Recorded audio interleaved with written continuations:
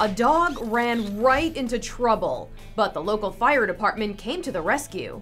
I'm Mara Montalbano for Buzz 60, and this dog was on thin ice after getting away from her owner during their usual morning walk.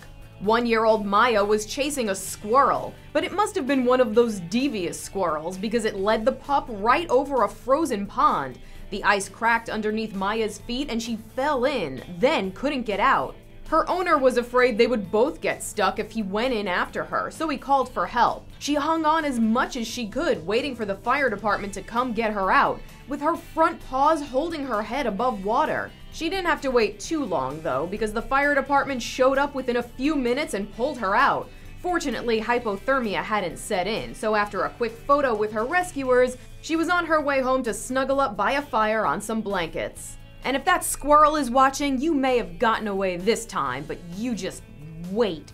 Buzz 60. Now you know. Pass it on.